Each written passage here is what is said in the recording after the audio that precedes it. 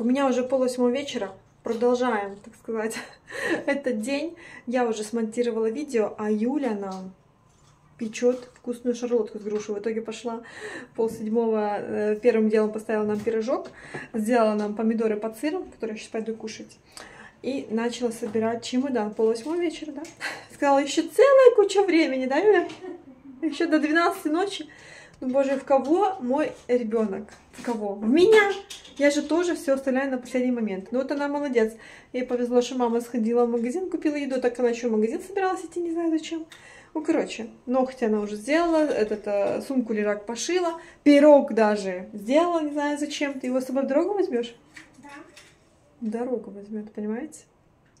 Булок накупили, пирог печет.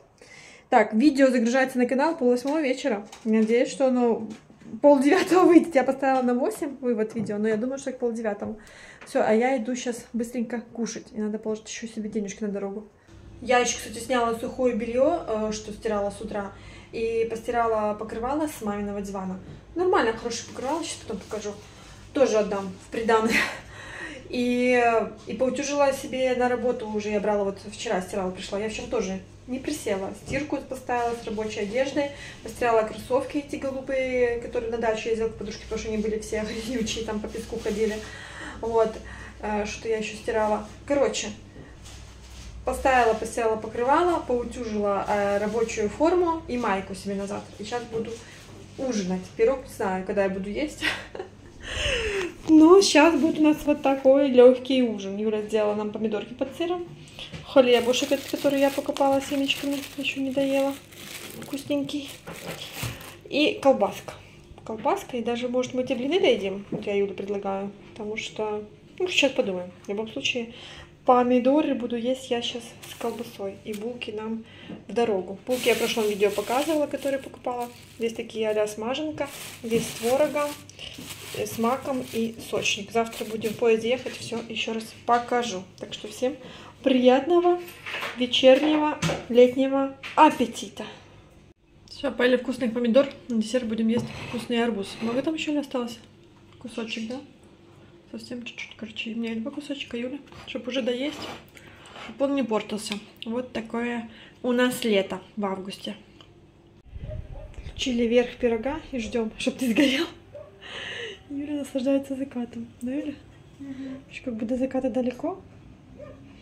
Еще часик. Ну, Юля моя наслаждается видом из своего окна. Скоро будет наслаждаться на море. Да, Юлька? Все, каждый занимается своим делом. Юля снимает свой контент, я свой. Спекся пирожок горячо. Так, главное не увлечься и открыть. Такой обалденный, красивый у нее пирожок. Сейчас подостынет. И будем пить чай. Будем пить чай. Хотя арбуз уже наелись, но еще будем пить чай. Красота вот такая у Юльки. А Юлька тем временем снимает на свой iPhone закат. Красивый вид из окна. На память, да, Юля? Будешь на море сидеть? И не грустить. И грустить о доме. О доме своем, да? Так, а я уже на балконе, и у меня планы, что когда это, ну, Юля сейчас уедет, помыть это окно, потому что я как приехала с Испании, так его еще не мыла, эту оконную раму огромную, балконную. Пришла снимать вам покрывало, такое приличное покрывало, я его постирала. Оно было чистое, ну, просто что полгода пыль тоже садилась, вот, я его освежила. И отдам людям добрые руки, потому что там эти мужики вообще не моются. Им будет за счастье мое это новое почти покрывало. Так, ну что, полдевятого вечера я загрузила видео на канал. Наконец-то. Заходите, смотрите. Бо ваш блогер не успевает ничего делать. И Юля сейчас проверяла, купила себе чехол такой водонепроницаемый для телефона. Положила бумажку, подержи. Положила эту вот салфетку, сказала, что не намокла, да? Угу. 9 рублей стоит. Где-то 2,5 доллара, да? Ну, 2,7, наверное. Крутая штука. Надо себе будет такой купить, когда вернусь жить на Тенерифе, чтобы купаться на пляже. А вот и закатик, а вот и закатик. Красота такая. Но улице такой ветер, ну, как бы немножко не очень неприятно, как вот, знаете, по-осеннему так. Не буду открывать окно, вот так чуть вам поснимаю. Я уже поставила чайник, сейчас будем пить чаечек. Все, заварила чаек, решили с Юлей наполовину. Что наелись этого арбуза, и так жидкости много. Долью потом я полкружечки. И уже помыла еще груши нам дорогу. И наши булки, да, не перестаю их показывать. Так, и пока остывает мой чаек, хотела вам рассказать э, о вчерашней своей встрече. Знаете, такая встреча, что растрогала меня до слез. Я встретила свою э, вторую учительницу. Не скажу, что первая, потому что первая у меня была э, с первого по второй класс. Да, два года она меня учила. А в третьем, в третьем и четвертом классе у меня была другая учительница.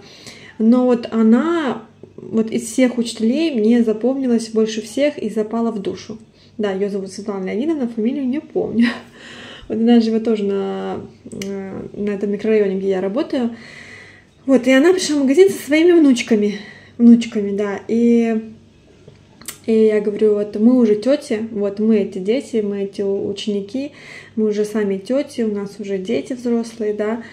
И как бы больно видеть, э, что стареют наши учителя, стареют наши родители, и все вот это, и умирают наши родители. И э, она еще не сильно старая, то есть ей только 59 лет. Э, ну и мы так разговорились, я про свою жизнь там рассказала, она про, про свою, но я просто к тому, что для меня это очень такой, знаете, важный и ценный человек в моей жизни. Можно сказать, даже вторая мама потому что мама моя работала, да, вот э, поколение вот э, мое, там, в советское время, да, родители нам не уделяли время и, и не давали столько любви, сколько мы сейчас даем, даем своим детям, да, сколько мы с ними разговариваем, сколько мы с ними проводим времени. Вот, э, занятие моей мамы было пойти заработать денег, выжить, э, приготовить нам еду, потому что в 90-е годы было очень тяжело жить. Вот, и эта учительница, она по-своему нам давала свою любовь. Она не была такая, прям, как я Юле говорю, сладкая-сладкая. Вот э, первая ученица, да, она такая была сладкая, она такая была все правильно, положительно, и все вот такое, да. А вторая, она такая была, например, как я. Знаете, может и правду матку залупить, и поулыбаться, и на позитиве, и правда жизни, и чему-то научить, и такая вот и трудолюбивая, и красивая, и жизнерадостная, и такая, короче, такая многогранная э, женщина, но на тот момент она была молодая тоже девочка, нам так казалось, что она уже взрослая тетя, ну, я, так, я точно не знаю, но лет, наверное, она была после института. Я думаю, наверное, у нас э, мы были меня выпуск, наверное, лет, лет там 25 ей было, да. Вот. И э, действительно она много в нас вложила. Ну, не знаю, как в других детей, но я чувствовала, что я у нее была такая любимица класса, я была вся такая активная, такая звезда звездою. И не скажу, что я была отличницей, нет, у меня было и 4, и 5, и где-то и 3 могло быть, у меня грамматика страдала, да, а, по русскому языку, например, изложение я писала там 5-2 а, у меня было там, или 4-2 потом как-то 4-3. Знаете, как-то я уже стала подтягивать немножко грамматику, орфографию, но, э, Юля говорит, как-то Юля сказала, сегодня говорит, а что, ты никогда не была вот самого маленького такой вот звездой, да, такой вот королевой, такой командиркой, как сейчас? Какой? Ты не была такой умной, как сейчас? А, если честно, в детском садике я была вообще какая-то неуверенная в себе. Ну, я вроде как бы был, пыталась быть какой-то заводилой, но я очень, очень как-то была тоже прибитая, Юля. Вот прям вот, ну, я помню детский сад, ну, какие-то были воспитатели, знаете, какие-то злые, вечно недовольные. Не скажу, что они нас кричали, но не было любви в садике. А когда уже я пошла в школу, я ощутила эту любовь вот, потому что мне, говорю, по-своему где-то не хватало этой родительской любви, да, мама, папа, мне давали это учителя. Вот, может, поэтому я и такая и выросла, другая, что вот эту любовь мне давали мои учителя. Потом, когда я уже росла, там другие, там э, у меня, получается, по русскому языку была еще Любовь Степановна, такая хорошая учительница. Тоже она меня очень любила. Вот, так возвращаясь к этой учительнице, она э, знала всю мою семью, она знала всю мою историю. И знаете, это как будто, ну, как вторая мама, как член твоей семьи, да, и ты перед ним вот э, открыт полностью, то есть она все про тебя знает, как ты, что ты. И, конечно же, педагог тоже в теме психологии, да, Вот, и я говорю, вот, говорю, ну вот вышла замуж второй раз испанца, и вот такого притянула мужа, как э, мой отец, который пил и, и мать бил, да. Она говорит, а кого ты еще могла притянуть? Дитятка это мое. Конечно же, вот такое ты и притянула в свою жизнь. И как бы я такая, вроде была такая вся на позитиве, да, там с ней вот была рада встрече, мы поболтали, то все. А потом вот, ну, вот как-то после этих слов как бы, ну, как, как сказать, ну, ты понимаешь, что человек настолько тебе родной, и мне уже как-то хотелось ее же ее и обнять, но думаю, это же как бы вроде как и учительница, да, и сказать там, вот вешаться на шею, да, вот это тоже наши такие какие-то установки, что не проявлять свои чувства, да, не показывать какие-то свои эмоции, вот, и она такая говорит, давай я тебя обниму, и думаю, я так выдохнула, потому что мне так хотелось ее обнять, и, ну, самой предложить мне как-то было стыдно, неудобно. Вот, и она говорит, давай обнимемся. И мы так с ней обнялись, и все, я, короче, расплакалась в том магазине. Плачу, потому что мне так было ну, приятно, что это такой близкий человек, и что она все про меня знает. То есть мне не надо ничего из, из себя изображать, мне не надо вешать какие-то ярлыки, защиты, э, ну, просто человек меня видит и знает, какая я есть. А для меня это человек, говорю еще раз, очень много значит в жизни, много дал, многому научил, и, может, по-своему я тоже вот такая и выросла, как она, актриса.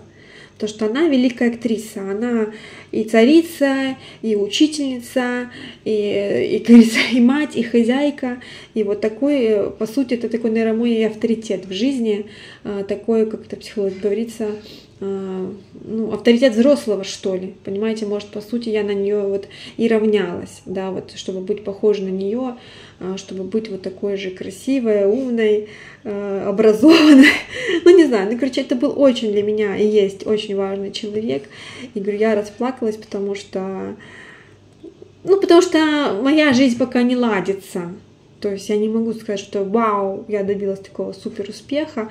Конечно же, я вижу свой рост, и он огромный по сравнению с тем, как я раньше жила, как я раньше думала. Это огромный э, рост для меня, вот именно в духовном плане, личностном плане. И, как говорится, мне нравится играть в эту игру, работать над собой. И если мне это получается, я, конечно же, делюсь с вами этими своими инсайтами, этими кейсами. Вот, просто хотела с вами поделиться, что не всегда я... Я, я даже так удивилась, что э, я такая всегда позитивная, всегда всех настраиваю на позитив, всем улыбаюсь. И знаете, когда перед тобой стоит родной человек, то есть там не надо ничего изображать, там и так все понятно. Там и так все понятно, там и так все видно, и это все чувствуется, и, говорится, это понятно без слов.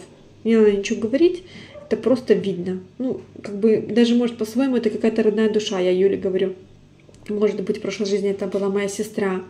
Знаете, то есть, ну, настолько вот э, родной мне человек по духу, по мышлению, и я думаю, что все вот это вот наше окружение, там, родственники, там, какие-то учителя в жизни, может быть, все же в прошлых жизнях как-то мы пересекались и были близки, что даже в этой жизни вот, получается, ты живешь и понимаешь, какой близкий человек тебе.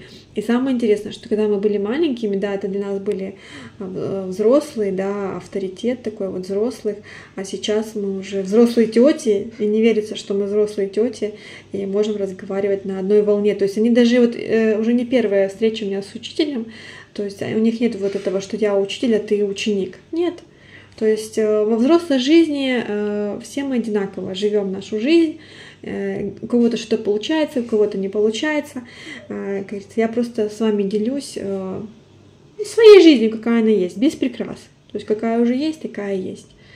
И, как говорится, всем ты хороший не будешь, потому что люди все время будут всем недовольны. Например, вот а, я уверена, что есть зрители, которые смотрят мой канал и канал Юли из Испании, да, она такая молодец, там работает, что-то добивается в той Испании. Я же опустила руки и уехала, да, и получается ей пишут, что Юля, возвращайся в Россию, что ты забыла в той Испании, а мне, наоборот, пишут, едь в Испанию, да, поэтому, знаете, просто надо жить свою жизнь, э, никого не слушать, никого не равняться на их жизнь, потому что, ну, ты никогда не будешь жить их жизнь потому что ты пришел в мир под другой звездой, под другим именем, с другой судьбой, э, с другим опытом жизненным. И, говорится, никогда не будет две одинаковые жизни, и никогда вы не пройдете один и тот же путь. Вот. И, кстати, Елена мне с Минска написала, я вот только недавно пришел этот комментарий. Я постараюсь с вами встретиться. Не знаю, как это у меня будет получаться, потому что поезд приезжает пол одиннадцатого в Минск. Там потом я еду на кладбище, это далеко, за городом, но я буду смотреть. Я говорю, я не обещаю, но вполне возможно мы и встретимся. И тоже Елена написала, что ей хочется обняться.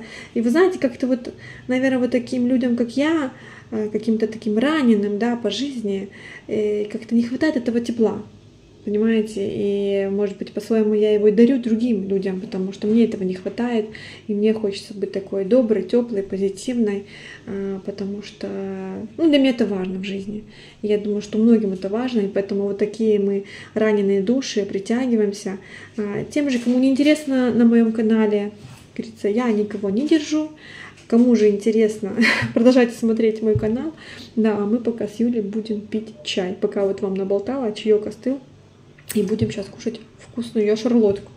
Вот мне что нравится в Юле, что если она загорелась, вот я ее отговариваю, вот говорю, да зачем тебе, да подумай, да не надо тебе.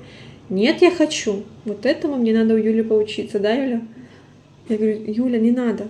Нет, я хочу. И она будет это в 11 ночи делать, в 12 ночи. Нет, я хочу.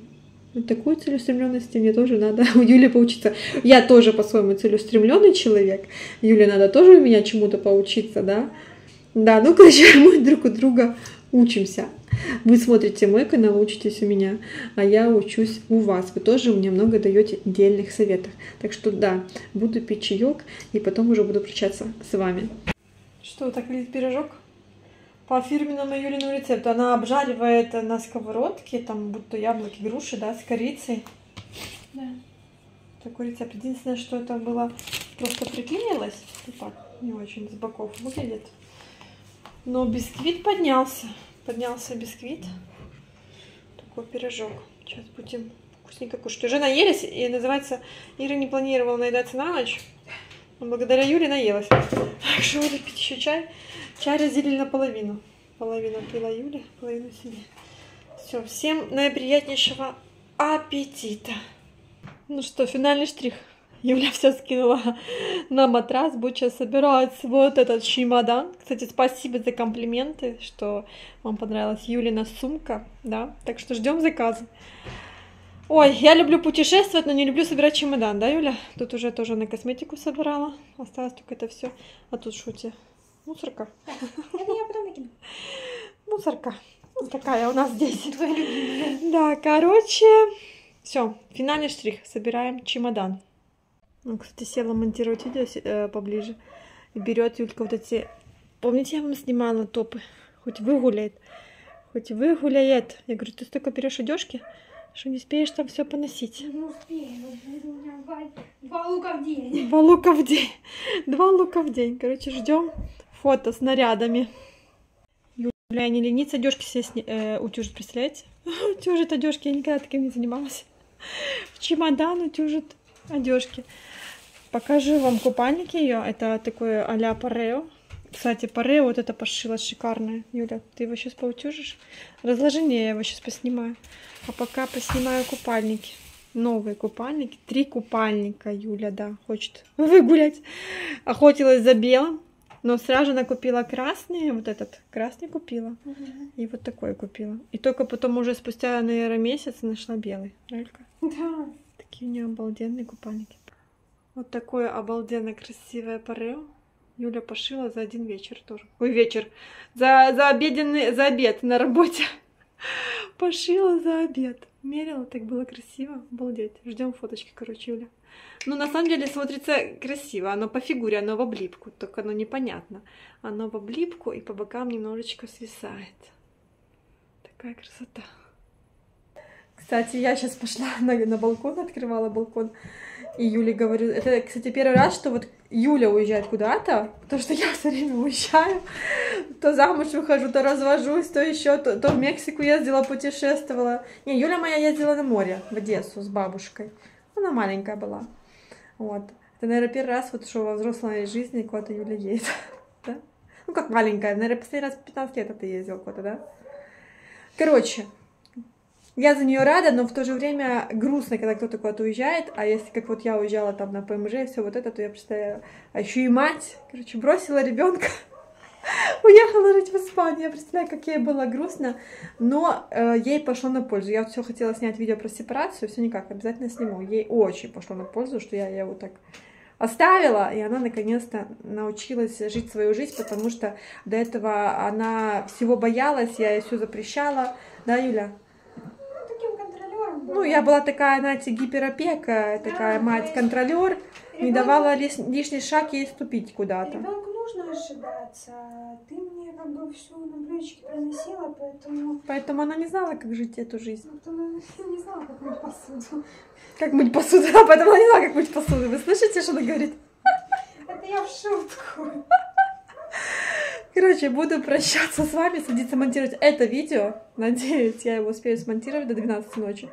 Э, осталось собрать чемодан и сходить нам с Юлей в душ, помыть голову. Все, мои хорошие. Всем огромное спасибо, что вы есть у меня, я у вас, что смотрите мой канал, что не пропускаете ни одно мое видео, что ставите лайк, оставляйте комментарии, подписывайтесь на мой канал. Всех люблю, всех целую, с кем на одной волне. Дополнительное сердечко. Все, всем пока-пока мне хорошего завтрашнего, завтрашней поездки в город Минск. Много чего я не увижу, но что-то точно увижу.